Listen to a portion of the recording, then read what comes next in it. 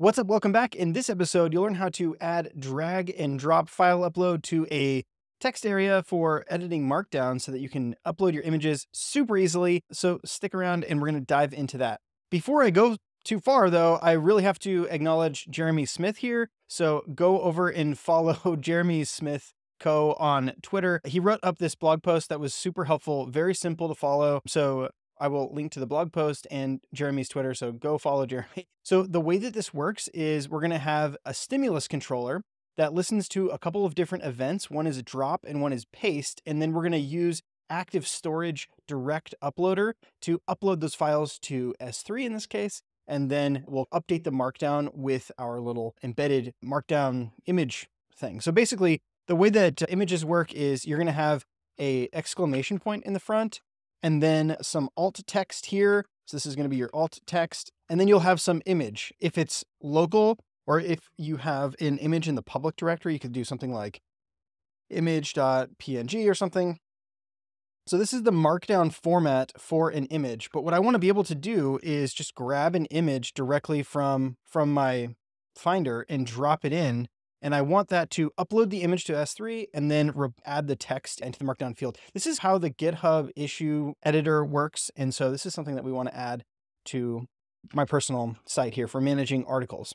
First things first is we need to make sure that we have active storage set up and working as expected. So in config storage.yaml, I'm going to come in here and enable Amazon. I want to use Amazon S3 in this project, I happen to already have my access key and secret access key set. There's another video on this channel showing how to set up active storage and how to get uploading working. So for now, I'm just going to leave those for later, but the bucket that I want to upload these to, I just called it cjav dev.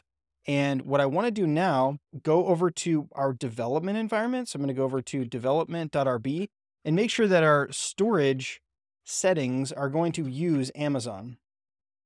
So when you're just practicing and playing around locally, you'll usually want to write local files. So actually, let's start off with local and we can come back later and switch it to Amazon. Okay, the next thing we want to do is we want to use a stimulus controller for managing that input box or at least parts of our form. So we're going to say Rails G stimulus, and we're going to call this markdown upload. So this is going to be a markdown upload controller. And that should have updated our manifest. And it should have also created this markdown controller JavaScript file for us. So let's open this thing up. And now we're going to be able to use this data dash controller attribute on the text area input with this markdown dash upload. When it's connected, we'll just console dot log connected. And the other thing that we care about is making sure that it was added to our registrations. This was the manifest updating. And yeah, so this is what happened as like the second part of generating this controller is it added this like manifest thing here. There's a couple different ways to load your, your stimulus controllers, but this seems to work just fine. So what we can do now is go over to our article form.html.erb and where our text area is for our body, I want to add some data attributes here. So the first one is going to be data dash controller markdown upload. Now, when we reload this page over here, we should see in the console that it was connected. So here we see connected. So that's cool. So now our markdown controller is being connected. Now what we want to do is start triggering when things are dropped or pasted into this markdown or into this, this text area. So the next thing we want to do is say data action is equal to drop on the markdown upload. And when that happens, call upload or drop upload, I think, drop upload.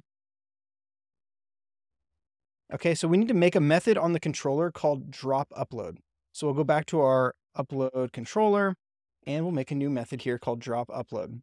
That is going to take in an event and we want to prevent the default for that event because usually when you drop something onto the page, it ends up like just viewing it in another pane. This is actually getting pretty close to what we want to do. But for now, we're just going to say e.prevent default, and we're going to say console.log, I don't know, uploading files. Okay, so let's just refresh our page here and see what happens when we try to drop something in there now. So we're just going to drop this Twitter logo in there. And now we see this uploading files printed out to the console. All right, great. So the next step here is that we want to actually use the direct upload class that is available through the active storage npm module. So this Rails active storage gives us this direct upload class that we can then use to upload. So here we can create a new upload given the file and some URL, and that will go through the process of uploading. Now the URL that's right here, this is the direct upload URL that is the URL that active storage is giving us when we want to make direct uploads. So we're going to use a, an ERB method to pull that out and inject it into our text area. So this is something that we want to like actually pass in our text area here. So we're going to say data markdown upload URL value is going to be equal to, and then there's this Ruby method that we can call that will give us back the, the direct uploads URL. And that is from active storage. That's going to allow us to use this value inside of our controller. So we'll go back to our controller here. We want to have static values. And the one we care about is this URL that's going to be available. So we have the first thing that we need, and that is the direct upload URL. The second thing we need is the file. So we're going to get the file from the inputs that are given to us on drop. So when we receive that drop event, the event is going to have this data.transfer.files, and we can iterate over each of those files and call upload. So it's possible we get several files dropped onto us. And so then what we're going to want to do is say iterate over the files that were given to us. So e.data transfer.files should have all of the files that we want to when we are uploading. So again, we need to import direct upload from Rails Active Storage. Now, as soon as I save this file, the my server is going to crash probably because I don't think I have this npm install. I need to add this Rails Active Storage package. Okay. And now we should be able to say bin dev. And all right. So now when we refresh the page over here, okay, let's see what we get now. So if we drag on a file and drop it, now we see this file list. So it has one file. So the zeroth index here, the object is of type file. It has the name, the size, and it's an image and all this, all these details. So we're going to take that file and upload it directly to, in, in the local case, we're going to directly upload it to our a local running file server. But in, in practice, we're going to switch it to S3 and that'll upload directly to S3, give us back some URLs that we can use. Okay, so the next step here is that we want to take these files, we want to iterate over each of them and call upload on them. So we're going to just say something like array.from.for each file, and then we want to call, in fact, we can just call like this.upload file. And here we can say upload file. I don't know if we're going to need access to this inside of here, but we'll come back and modify the binding if so. All right. So this says that we're going to try uploading all the files. So for each file that we want to, that we get, we're going to create that upload object, and that's going to be a new direct upload. And the first object is going to be the file, and the second object is going to be this.url value. So we do in fact need bind this. Okay. We're calling bind this so that the function that we're passing into for each is explicitly bound to this instance of the markdown upload controller. Another way that we could have written this would have been just something like for each file, this.upload file, and then execute this with passing an F. And by doing it this way, we continue to maintain the binding of this. So two different ways of doing that. Okay, we'll just clean this up a hair and Let's take a look. All right, so back over in the active storage documentation, you'll see that it has this upload.create method that takes a callback that will resolve with an error or a blob. So we can grab this upload call and let's just drop this, let's just drop this inside of our function here. So if, if there was an error, we will log out the error. So we'll just say something like alert error I don't know what the shape of that error is going to look like, but because this is just something that's used by me, that should be fine. Okay, so then the next thing we want to do is we're going to get a few different pieces of information off of this blob. So let's console.log the blob, console.dir the blob, and we'll just use that for now to see what we're getting back from the blob data. So we'll come back over here to our application, drop in an image, And this is our blob data that we're getting back. So we're going to have this signed globally unique identifier. We have the size, a checksum. We know that it's an image. And here we have the file name, etc. So we can use this information to then construct a URL that we want to go and see this file that we uploaded. Again, if we look at the documentation, we see this blob.signedID and active storage is going to give us some URLs. So here's an example. It's going to be like slash rails slash, slash active storage slash blobs, then the signed ID, and then the file name. So if we just copy this and take a look at what we get back here. So let's paste this in localhost 3000 slash rails active storage. So right now that's not going to do anything. But now if we grab the signed ID for the blob, so we'll copy that and we want to replace the signed ID in the URL. That should give us back getting. And then we also, I think, need the file name. So we'll just grab the file name here. It's going to be like the Twitter logo. And if we hit enter, now we see this image. So notice that this is hosted at localhost 3000. Eventually, we're going to upload that to S3. But if we wanted to, we could say bang, Twitter logo is our alt text, and then we could paste in that URL. And if we said submit, now we have this blog post here that has the image that is embedded in it. So this is working. The next step is just to construct the URL here, given the signed ID from the blob and then the file name for the blob so that we can construct some sort of URL that looks like this. And we want to do that client side. So here we're going to do something like um, markdoc or mark2 markdown URL. And we're going to take in the blob and we're going to return that URL. Yeah, so it's going to be that exactly. Okay, thank you, Copilot. All right, so if we were to just console dot, yeah, so the other thing that we need to do here is if it's an image, we want this exclamation point, but if it's other types of files, then we we don't. So for now, we'll just assume that they're all images. And then if you wanted to handle stuff that was not images, you would need to figure out the content type of the file that's being uploaded and then decide whether or not you want to show the exclamation point. And then finally, what we want to do is figure out where this range is of selected text. And then we need to go through and, and actually like insert into the right spot in our text editor. So we're going to set this range from start to end to be the value from our markdown blob. Okay. And again, like in this example, it does show you how to check if it's an image. And if it is an image, figure out how to do the prefix thing. So head over, take a look at the blog post. We're going to use selection start and selection end. Let's grab this, grab reference to this text area. So it's just called body. Let's see, const body document.get element by ID body. Okay, so this is our body. Now if we said something like body.select selection start, that gives us the character where the selection starts. So this is the 38th character in is the that R, and then we have selection end. That's going to be where our selection stopped.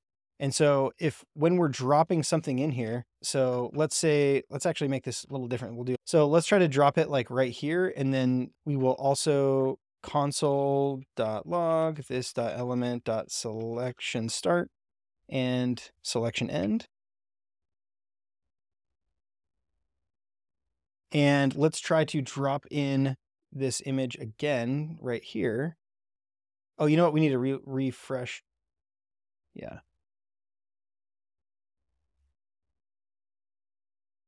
Okay, drop it in. Okay, 242 and 242. So it must have added it directly at the end of this stuff here, but that's fine. So that's going to drop the image in between. So if we try to do it here, okay, yeah, so then that would have ended up in between. So 162 and 162, cool. And if we did it after 10, see what we get here. There we go, 11 and 11. So that's where the object would have landed. Okay, so now what we want to do is say, we want to set the text value or in that range. So starting from 11 to 11, we want to insert some text. And that text is going to be that URL constructed from the markdown URL. So we can say set range text, this.element.set range text from, this is going to be our like text. And then we're going to have selection start, selection end, and that should be good. So here we want to pass in our markdown and that should work, I think. So let's come back over here, refresh the page and highlight all this, test, and then let's actually test more and say that we happened to drop an image in between the two. All right, cool. So that uploaded the image and it injected it directly into our markdown and it has the correct format and everything. So if we say submit, now we have test at the top, we have test more at the bottom, and the image is uploading. So another thing that I do all the time when I'm writing these articles is I'll take a snapshot and add it to the clipboard. You can do, I don't know, Alt Control Shift 4 or something. And let's say you take a screenshot. Now that like gets added to the clipboard. And if I paste, I want it to, I want to be able to like Command V to paste the image in here and have that also upload. So in order to do that, we needed to add a second sort of flow here. So right now we have our drop upload. Let's also add our paste upload. That's going to be pretty similar. e.prevent default. And eventually we are going to upload some files, but the API is just slightly different. So paste upload, we're going to check to make sure that there is something on the clipboard. So we're going to check to see if there's something on the clipboard.